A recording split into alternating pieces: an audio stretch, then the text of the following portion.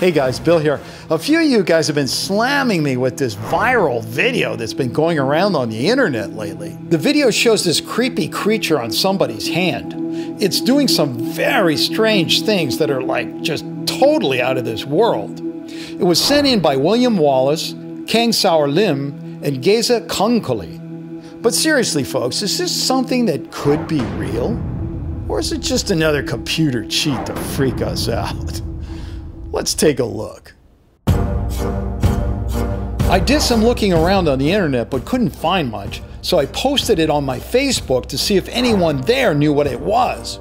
Adanjose Alegre was the first of many on Facebook to let me know that this creature is actually real. Can you believe that?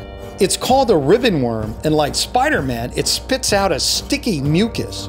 In this case, it's to grab its prey and then turn itself inside out around the prey to devour it. Wow, that's pretty amazing, huh?